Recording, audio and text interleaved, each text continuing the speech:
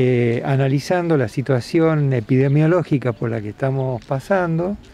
eh, y eh, con los cuidados respectivos y, con,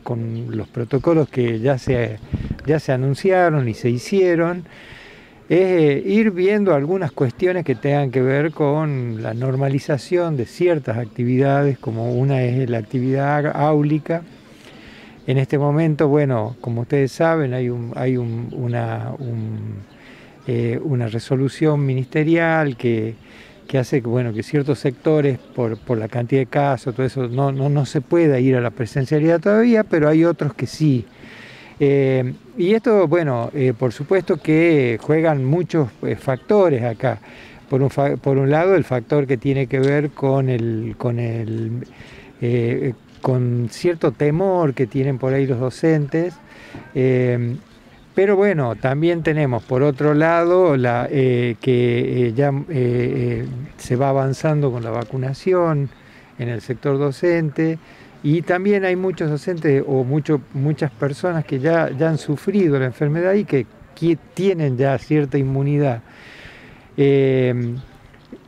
Yo creo que es una situación que hay que ir analizando continuamente a los fines de, eh, poder ir abriendo, porque también juega y pesa mucho el tema de que los chicos ya llevan más de un año eh, sin, sin el, factor de la escuela. Esto no quiere decir que no hayan aprendido, porque bueno, por suerte se juega mucho el tema de la virtualidad, el tema de que los docentes trabajaron muchísimo en esto eh, pero la escuela es un lugar de encuentro, un lugar de encuentro social, de aprendizaje de, que tiene que ver con, la otredad, o sea, con, los otros, con cómo, me relaciono con los otros. Entonces es un espacio que hay que cuidar y, hay que ver, hay que ir analizando para que se pueda volver, para que se pueda, se pueda reiniciar, ¿no? Con los cuidados, por supuesto. Y eh, desde el sector salud, comprometernos continuamente en el análisis epidemiológico de, cada uno de los departamentos de, la provincia, a los fines de que las decisiones que tomemos sean las mejores, tanto para los docentes, para los chicos y para la comunidad en general. Y hay sectores que eh, por la,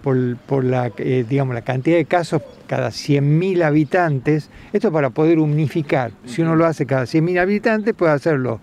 tanto en una localidad chiquitita como en una localidad grande. Eh,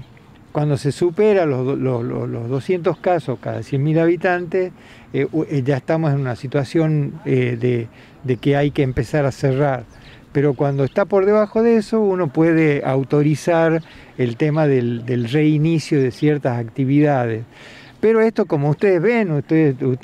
lo han visto en esta semana, o sea, veníamos en, en un franco eh, en una meseta, quizás incluso eh, con cierto descenso, y de pronto nos aparece un pico que seguramente tuvo que ver con el primero de mayo, con, la, fiesta. Imagínense, hoy nos enteramos eh, durante el fin de semana, ¿no? casi 100 fiestas clandestinas que, se, que se tuvieron que suspender, la, la, detención de personas, el tema del cobro de multas por estas situaciones. O sea,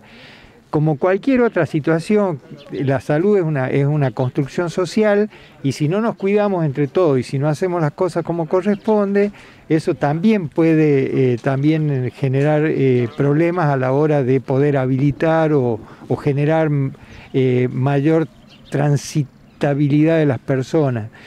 Tengan en cuenta que el, el problema no es la escuela, sino el problema es la circulación de personas. Cuanto más circulan, más posibilidades hay de contagio. Y acá hay que hacer la diferencia, no es lo mismo las escuelas por ahí de, la capital o de alguno de los departamentos, que quizás la mayoría de los chicos concurren vehículos o cosas así, que aquellos que eh, concurren en transporte público.